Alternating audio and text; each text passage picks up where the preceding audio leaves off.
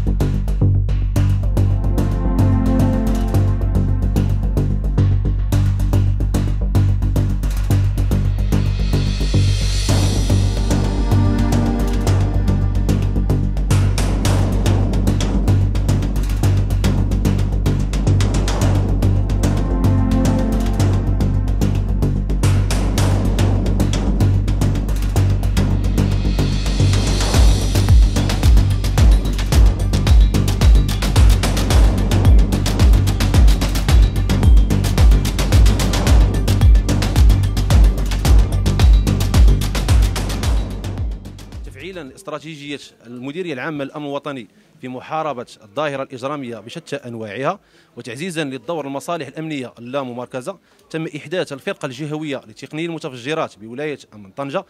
آه هذه الفرقة تأتي في إطار مشروع متكامل وضخم يهم إحداث سبع فرق جهوية على مستوى المملكة المغربية ومن ضمنها ولاية جهة طنجة تطوان الحسيمة. كما لا يخفى عليكم أن المديرية آه، العامة للأمن الوطني رصدت لهذا المشروع الضخم إمكانيات بشرية ومادية جد مهمة تتمثل في الأساس في تكوين وتأهيل العنصر البشري آه، ووضعه آه، ووضع رهن إشارته الوسائل المادية والتقنية الكفيلة بأداء مهامه في أحسن الظروف.